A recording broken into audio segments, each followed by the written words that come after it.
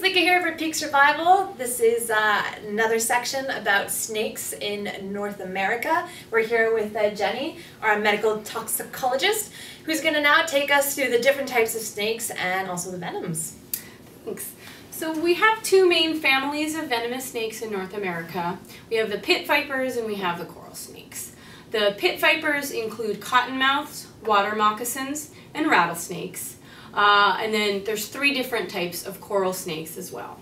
Here in Arizona, we don't have cottonmouths and copperheads, so rattlesnakes are the only pit vipers we need to worry about. And they're actually the pit vipers with the most toxic venom. We do have one of the types of coral snake here in Arizona, but it's actually the smallest and most benign, and no deaths have ever been reported in humans from the bite of this snake. Uh, in fact, it's very tiny. It almost looks like a giant colorful worm. And there's a question about whether its mouth is even big enough to really be able to bite a human in order to deliver venom.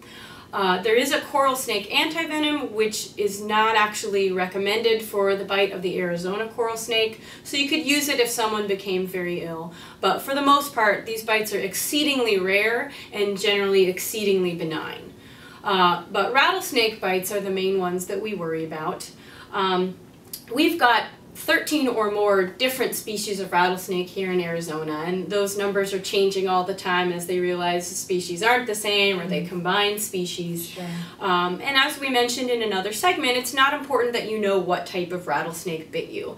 We use the same antivenom to treat bites by all North American pit vipers.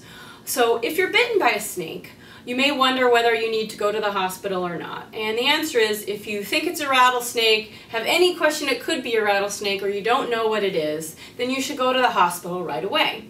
And basically what we'll do is check some blood work and observe you for the signs and symptoms of a rattlesnake bite.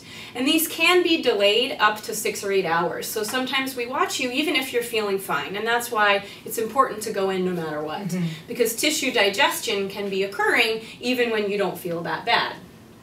So what does rattlesnake venom do? Uh, it affects several different parts of the body. The main thing it does is digest your tissue, so it causes bleeding, swelling, uh, large blood blisters, uh, and if left untreated, it can also cause tissue death. So people may lose parts of their fingers, entire fingers, or even entire limbs from this tissue damage. Uh, rattlesnake venom also thins the blood, so it can cause both bleeding and clotting, although bleeding is usually the most feared complication. Mm. Now, luckily, in the United States, severe bleeding is very rare. Uh, there's roughly 8,000 snake bites per year, and we only see a handful of deaths, and often these are from the people who have a severe bleeding reaction. Okay.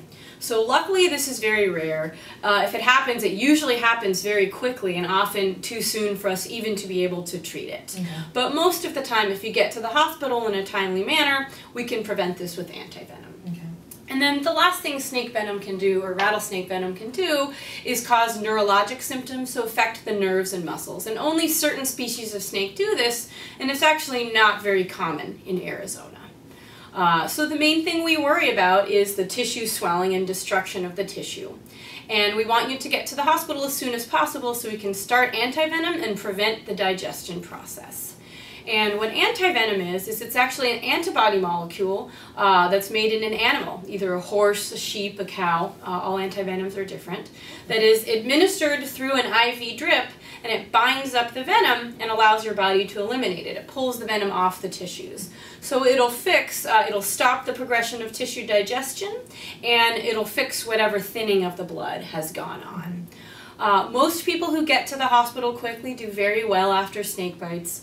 Uh, the main adverse complication we see would be loss of a small amount of tissue, such as a fingertip, although most people don't experience that. Sure. Uh, but the most important thing, as we've mentioned several times, is to get to the hospital right away so that we can start this aggressive treatment. Most certainly. Thank you. You're welcome.